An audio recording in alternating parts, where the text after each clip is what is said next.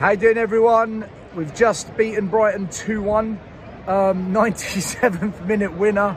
Another crazy ending to a Spurs game. It's kind of the story of Tottenham, isn't it? You can't leave any game when there's a few minutes to go because you just don't know what's going to happen. I think on the balance of play, a draw would have been fair, but you take a win. Always take um, a win if you can if you can get the winning goal. Um, I thought first half Spurs were very, very poor. I thought Brighton were the better team, although Brighton didn't create a lot of chances, I have to say that.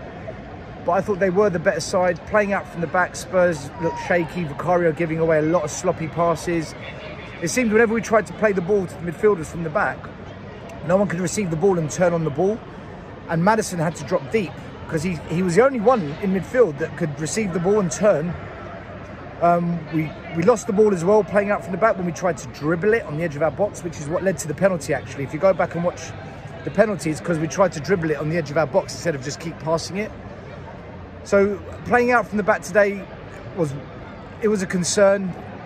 And it was down to Vicario, sloppy passes, midfielders not being able to receive the ball in the half turn, and also um, dribbling on the edge of the box. So things that we really need to improve, and we will over time if we keep practicing, practicing, and just cutting out those silly errors that we seem to make um, when playing out from the back.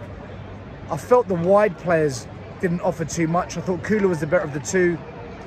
Timo Werner didn't really offer us much. Um, his crossing, I just don't think is good enough. Um, and then in the midfield, it was a fairly even game. I don't think they dominated us in midfield. And in the final third, Richie had a one-on-one -on -one chance, but like I've always said about Richarlison, and a lot of you don't like hearing it, in the against the top eight teams, and Brighton is one of the top eight, he doesn't turn up. No assists and no goals. As a one-on-one -on -one situation, if that's Son, it's a goal. And that's the difference. So second half, I think we we, we started better. And um, I'm being told to leave, so i am going to wrap this up. I thought the second half we started, um, sorry, we didn't start better, we played better. But Brighton missed some glorious chances, drilling their shots just wide of the post. Even right at the end, they could have won it. And they've drilled it wide across the face of goal again. Um, I don't think it was a great performance from Spurs. We did create a couple of half chances. I just feel that we need to fix this playing out from the back and it comes down to the midfielders being able to receive the ball and turn and for us not to dribble on the edge of our box. And in the final third, it wasn't until Heung-min Son came on and actually put some decent deliveries from the wide area because Timo wasn't offering us anything in terms of good deliveries into the box.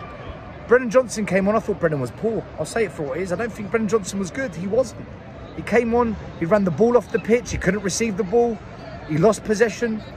But he came up with uh, the back, uh, the ball pass, a brilliant pass from Son to the back stick and Brennan was there to tap it in from uh, four or five yards out. So look, we won the game, happy. We're back into the top four. I still think Spurs will finish top four, but again, that, that these performances for me aren't good enough, and it, we can't keep playing like this and getting away with it. So um, on to the next game. Let's try and win it. And I just want to see us get back to how we were playing at the start of the season, where we looked good. We looked like we were dominating games. Today was another shaky one. So up the Spurs 2-1. Let's go.